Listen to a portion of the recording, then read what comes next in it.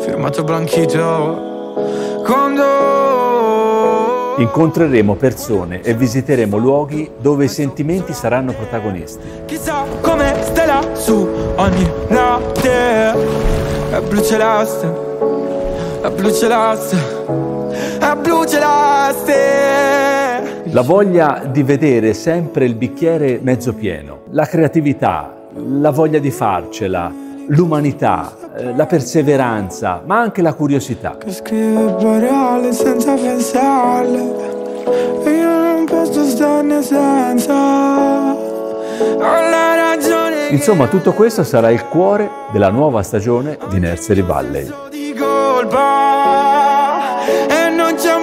Che la tolga da me eh, eh. Mi metterò a riparo San Patrignano è una casa, una famiglia per i giovani che hanno smarrito la strada. San Patrignano è una comunità di vita che accoglie quanti sono afflitti dalle dipendenze e dall'emarginazione. È un luogo di valori e di rigenerazione. Parliamosi di droga, la droga è una risposta sbagliata a dei problemi, a degli stati d'animo che comunque alla fine tutti proviamo, tutti sentiamo. Ci si sottovaluta, devono riconoscersi in mezzo agli altri e spesso non è così facile Certo. riuscire a mantenere la propria identità quando si vuole far parte Certo. di un qualcosa e di un gruppo. Quindi il rischio qual è? È che si segue la massa Eh. e, e in realtà la massa rischia di portarci da un'altra parte rispetto a chi siamo veramente. E mio padre quella volta mi disse tu pensi di essere libera perché vivi sotto un tetto di stelle, ma c'è delle catene al collo grosse come una casa. La maglia del Bologna, sette giorni su sette. Pochi passaggi, molti dribbling, quanti vetri spaccati. Un dio cattivo e noioso, preso andando a dottrina. E da tantissimi anni avevo proprio il sogno, l'ambizione, la volontà di visitare San Patrignano. Allora Andrea sono molto contenta che tu sia qui e che tu abbia questa opportunità di visitare la nostra Sampa. Dico la nostra Sampa, non vorrei essere retorica, ma perché ormai è la mia casa, la mia famiglia. Io sono qui da 40 anni, e non per un problema personale, ma comunque un problema in famiglia, in quanto mi ero innamorata di un ragazzo che aveva cominciato con i primi spinelli, ma da qui all'eroina, dallo spinello all'eroina è passato brevissimo tempo e quindi mi sono trovata in una situazione veramente difficile con un bambino piccolo di due anni e non sapevo come eh, risolvere questo problema e come farmi aiutare e quindi sono arrivata nell'81, il 31 maggio dell'81, con un bambino piccolo qui a San Patrignano. E qui è cominciata eh, la mia, diciamo, eh, scoperta, la mia rinascita, la, la vol voler tutelare la mia famiglia e poi provare a salvarla. È finita che il mio matrimonio è andato male comunque, perché poi però io ho ritrovato una famiglia vera e ho avuto l'opportunità di crescere mio figlio che adesso è un uomo di 42 anni, sono una nonna di due bambini con tutto il sostegno e l'aiuto della mia famiglia che è San Patrignano.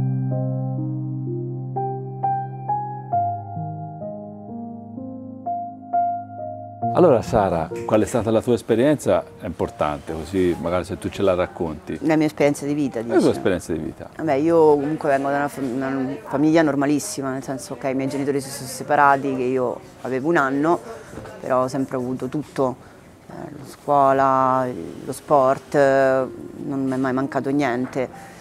Solo che poi verso i 12 anni ho cominciato a fare uso di cannabis e io cercavo sempre qualcosa in più, l'ho sempre cercata sta cosa in più. Quindi più andavo avanti con l'età, più conoscevo gente più grande, quindi si è evoluta fino ai 14 anni ho cominciato a fare uso di cocaina e fino ai 17 che poi ho cominciato a fare uso di eroina.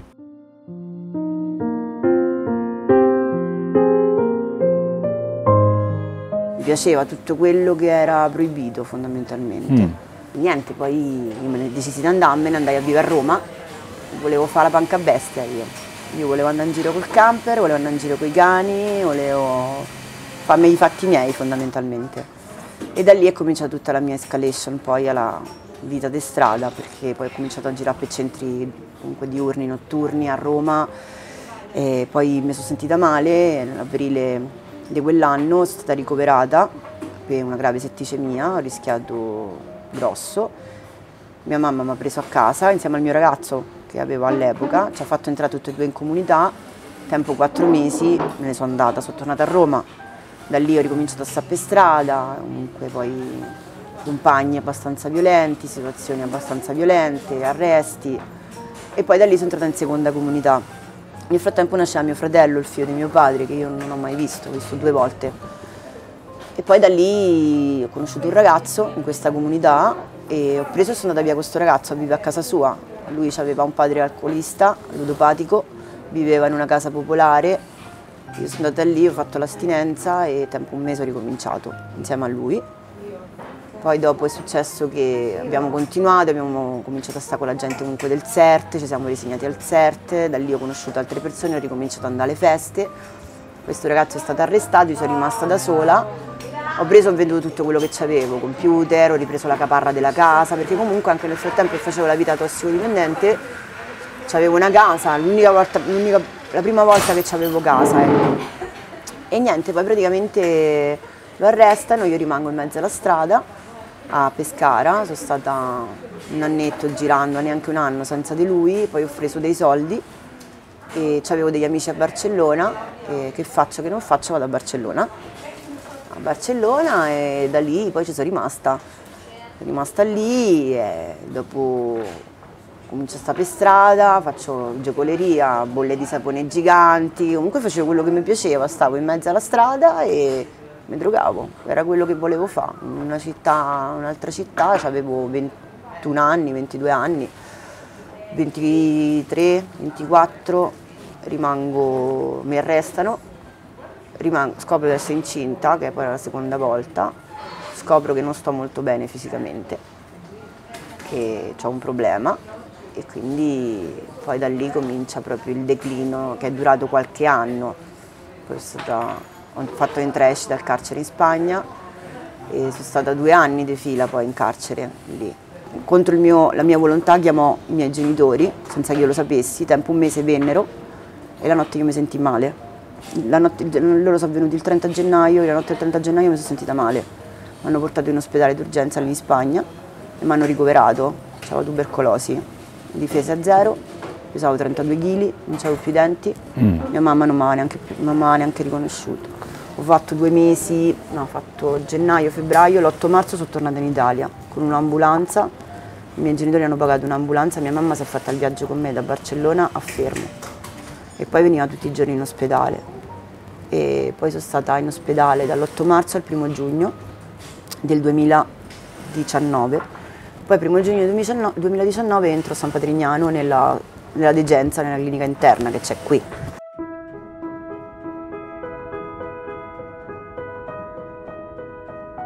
Sono entrata che pesavo 110 kg e andavo a dormire in bagno perché non ce la facevo a stare ai ritmi delle ragazze, non ero più abituata. Sono stata talmente tanto a letto, ho fatto un anno e mezzo d'ospedale tra degenza, Spagna, eh che non ce la facevo. E poi un giorno vidi una mia compagna che comunque non c'era niente da fare, si era messa a pulire i tappi e si era fatta male. E una ragazza che era entrata con me, allora dissi cominciamo a mettere pure io a lavorare. Abbiamo cominciato a lavorare insieme, mi ha trasmesso la, la passione di questo lavoro. E qui cosa fai oggi? Qui lavoro con la pelle, faccio tutto quello che è il lavoro di preparazione per le borse, portacarte, buste piatte, faccio il taglio, faccio uso tutte le macchine, ho imparato a usare tutte le macchine.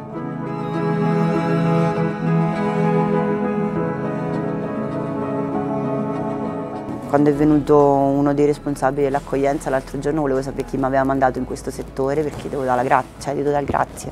Ha trovato il tuo talento? Non lo so se è un talento, perché c'è gente più brava, però mi piace. Cioè a me quello è quello che mi spingeva. Io stamattina sono scesa alle 6, ieri sono andata via da qui alle 7 e mezza, sono scesa alle 6. Cioè io potrei farci anche tutta la notte a lavorare qua, non è un problema. Mi piace, mi piace poter ridare qualcosa magari a sto posto che è quello che mi ha dato a me, ma non solo lavorativamente parlando, anche con le ragazze. Cioè mi sono resa conto che quando vedo le ragazze che comunque, beh, delle volte quando uno è stanco c'è anche un po' il limite, perché comunque sei sempre qui, però ti dà una mano. Io penso che adesso il mio futuro è questo, cioè io è stata lunga, è stata dura, Ora adesso se guardo indietro mi è volato.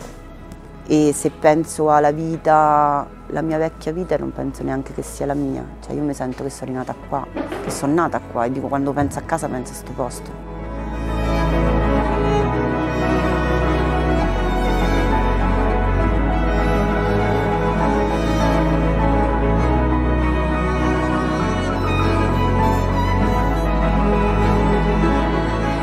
A me interessa moltissimo cosa vuol dire dare una seconda occasione a qualcuno e penso che a San Patrignano eh, la storia di San Patrignano sia proprio questa, cioè quella di essere riusciti a dare una seconda occasione. Assolutamente sì. San Patrignano credo che sia nata proprio per questo, perché quando quanti ragazzi, eh, persone allora, ma oggi si trovano in difficoltà sbagliano, non hanno gli strumenti per affrontare delle situazioni e si trovano in un tunnel pazzesco e molto spesso non vedono via d'uscita da soli, non ce la fanno, le famiglie sono impotenti, eh, le risorse sono poche e quindi eh, avere la possibilità di eh, trovare qualcuno, come è successo a me, che ho avuto la possibilità di ricostruire, ripartire e, e, e, continuare il bellissimo progetto di vita che è famiglia, valori, eh, tutto ciò che comporta questo, credo che avere, dare la possibilità a chi è in difficoltà di essere aiutato sia la cosa eh, più importante. Qui, se vuoi, trovi questa possibilità. Oh Cinnamon, where you gonna run to?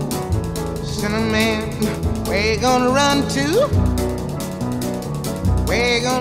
Il mondo della droga è, è molto cambiato negli anni, sì. oggi è un po' un nemico nascosto. Sì, sì, prima il tossico lo vedevi, lo riconoscevi, avevi paura, eh, lungo le strade, buttato lì, no? con l'eroina, la siringa magari.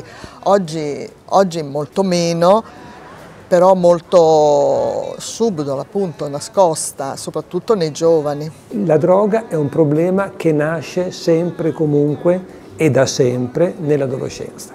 Quello che vediamo è una diffusione spaventosa di cocaina e crack che sono diventate le sostanze sicuramente più diffuse e che più spingono le persone a cercare aiuto alle comunità. Nel corso di tutti gli anni di questa esperienza, qual è la cosa che è rimasta come, dire, come punto di riferimento nel metodo di San Patrignano?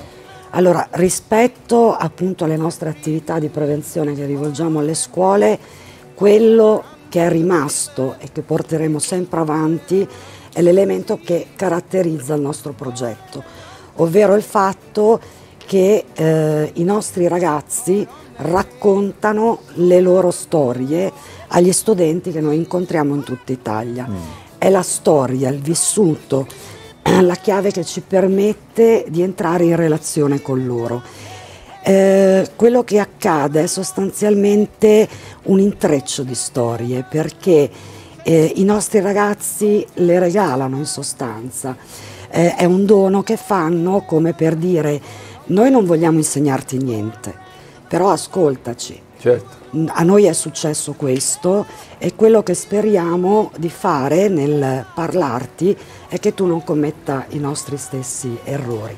In quel momento si crea fiducia e chi ascolta si sente quasi di potersi abbandonare.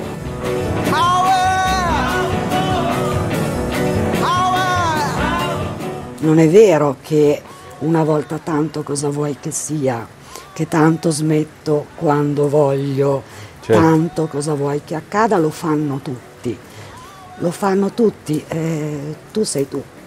Certo. E cerca eh. di andare da un'altra parte. Esatto. Se incominciano ad andarci a uno a uno da quell'altra parte, magari la massa si sposta. Quello che cerchiamo di dire loro eh, è proprio questo. Difendi i tuoi sogni, e porta avanti i tuoi obiettivi perché poi appunto alla fine è difficile e eh, chi arriva in comunità è fortunato. Certo, è vero. Perché purtroppo tanti eh, questa opportunità di rinascita non ce l'hanno. Sai, questa vita mi confonde, coi suoi baci e le sue onde, sbatte forte su di me Vita che ogni giorno mi divori, mi seduci, mi abbandoni nelle stanze di un hotel. Antonio, quando vedono te gli ospiti di San Patrignano e chi anche è un tuo collaboratore, chi incontra? Incontra dietro un camice un'esperienza di che tipo? No, io spero che loro incontrino una persona come loro, non voglio che incontrino niente di diverso, ecco io voglio che incontrino quello che loro possono diventare. Mm. Quindi voglio essere, diciamo, il mio obiettivo principale effettivamente è fare in modo che loro possano credere in quello che può essere il loro futuro.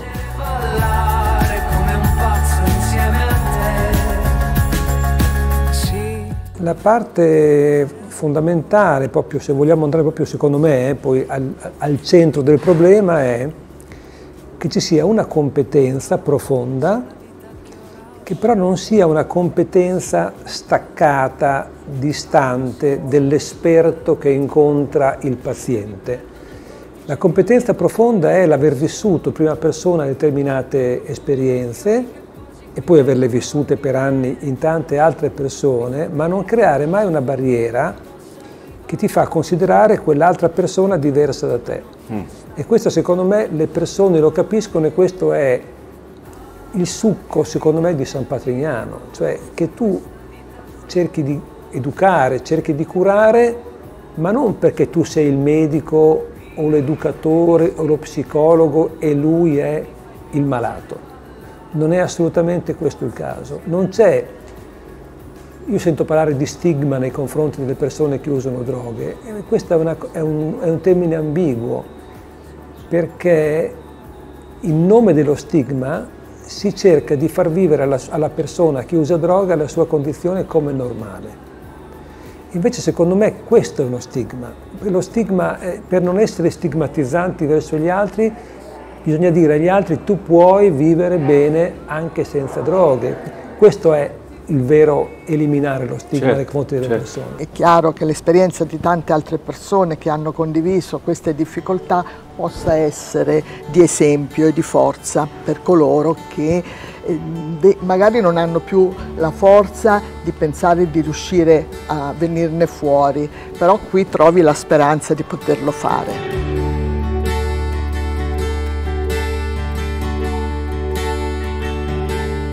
Secondo me hanno ragione anche i vegani, ci incazziamo per i cani abbandonati, poi ci ingozziamo di insaccati. E in fondo dai parliamo sempre di Salvini, di immigrati e clandestini, ma in un campo rifugiati a noi non ci hanno visto mai.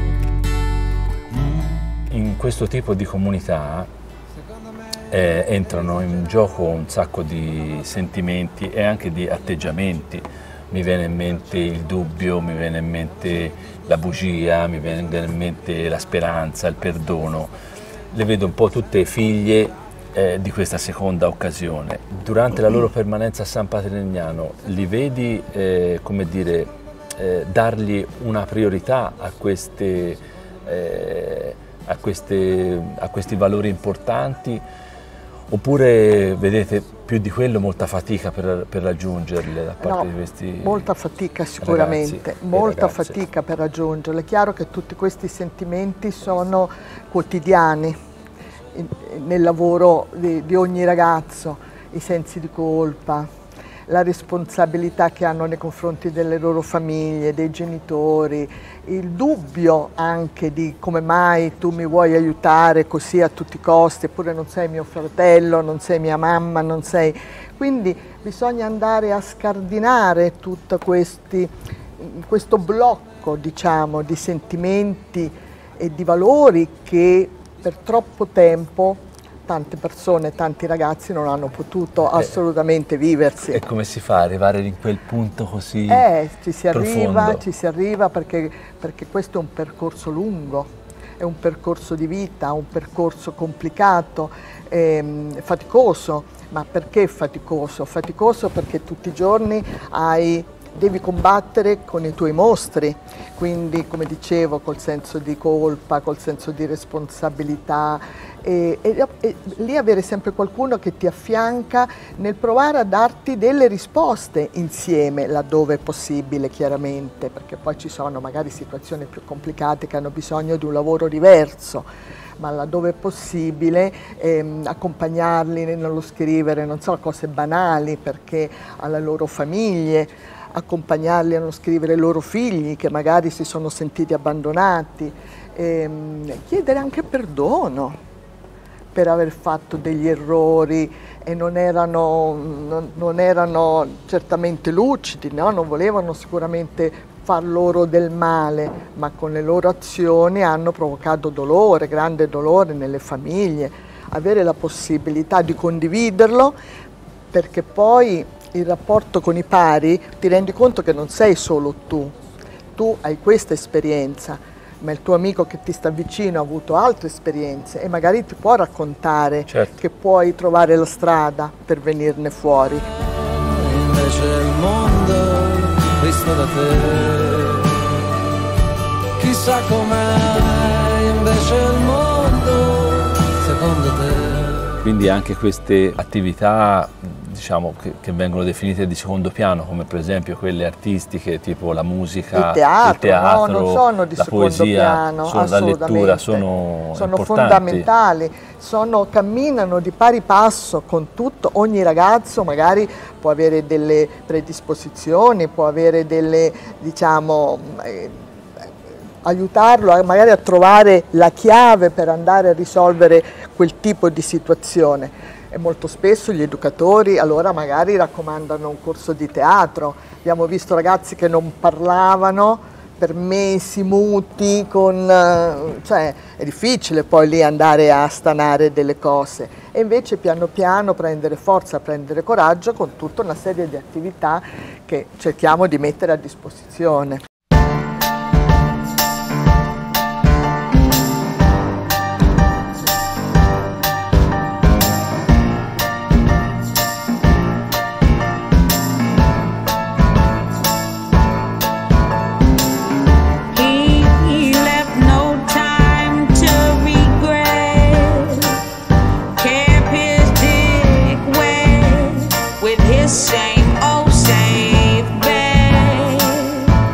Cos'è che tutte le mattine ti dà, come dire, la carica e la forza di eh, fare il tuo lavoro, che è un lavoro molto impegnativo? A me quello che dà la carica è vedere le persone cambiare, perché la persona deve cambiare, non deve semplicemente smettere di usare droghe. Anche in carcere tu smetti di usare droghe, sei costretto. No, la persona deve proprio cambiare e il cambiamento è un qualcosa che ha degli aspetti cognitivi, razionali, ha degli aspetti di meditazione, ha degli aspetti che possono essere, io non, non mi vergogno a usare questo termine di carattere spirituale, se non religioso Quindi spirituale. Una conversione forse. È una conversione, è una formazione di una coscienza. E nella coscienza c'è dentro tutto, c'è la parte spirituale, la parte razionale, c'è tutto. E la gente deve sviluppare una coscienza tale che per loro diventa inaccettabile fare quelle cose che prima facevano. Certo. Questo è il punto di arrivo. Te personalmente, proprio come persona, te Vittoria, come riesci tutti i giorni a trovare la carica giusta per affrontare eh, tutto il tuo lavoro? Allora, eh, credo che mm, la forza è di venire tutti i giorni e di sapere che devo affrontare una nuova giornata è quella di sapere che ci sarà sicuramente un, vivrò un successo, vedrò quel ragazzo arrivato ieri, magari che oggi è un pochino meno triste rispetto a come l'ho visto ieri, o quel ragazzo che ho avuto um, la possibilità di incontrarlo che era davvero in difficoltà e dirmi guarda Vitto ti volevo dire che ho visto la mia famiglia, mi sono molto rasserenato.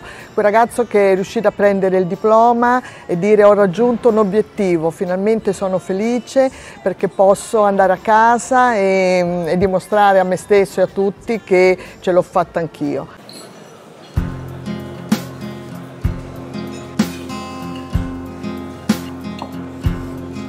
Chiudi gli occhi ed immagina una gioia. Molto probabilmente penseresti a una partenza. Ah, si vivesse solo di inizi, di eccitazioni da prima volta. Ti volevo regalare un portafortuna. Ne ho che, bisogno. che è anche un, un nostro ambasciatore, anche a lui è stata data a suo tempo una seconda occasione. È vero, Pinocchio. Eh, anche Benissimo. è stata ha fatto la, la, seconda possibilità. La seconda possibilità mi sembra e speriamo e credo che sia giusto poterla dare a tutti. Noi siamo una risposta, ma ci sono tante altre risposte, quindi credo che sia... Anche perché nell'errore ci possiamo cadere Se, tutti. tutti. indistintamente tutti, e non, si, non, ci sono, non ci sono situazioni, come dire, in qualche modo tutelate. Nella mia esperienza ho visto famiglie unite, ho visto famiglie disunite, famiglie con problemi di tossicodipendenza già precedenti, trovarsi a combattere con i loro figli in, caduti nel tunnel delle sostanze senza avere la possibilità di eh, aiutarli. E, e qui da noi hanno trovato la, la, loro risposta e questo ci fa tanto piacere. Grazie di tutto. Grazie Andrea, mi ha fatto molto Vittoria. piacere davvero vederti. Grazie e buon e, lavoro. E grazie anche a te.